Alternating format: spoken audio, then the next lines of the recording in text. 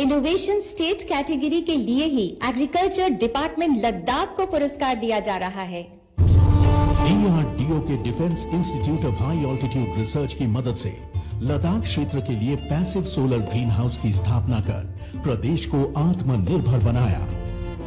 इस तकनीक की मदद से 315 सोलर ग्रीन हाउसेस की स्थापना की, जिससे 206 टन से अधिक हरी सब्जियों का उत्पादन हुआ। प्रदेश को आत्मनिर्भर बनाने के लिए टीम को शुभकामना। पुरस्कार ग्रहण करने मंच पर श्री रविंदर कुमार, एडमिनिस्ट्रेटिव सेक्रेटरी लद्दाख आ रहे हैं।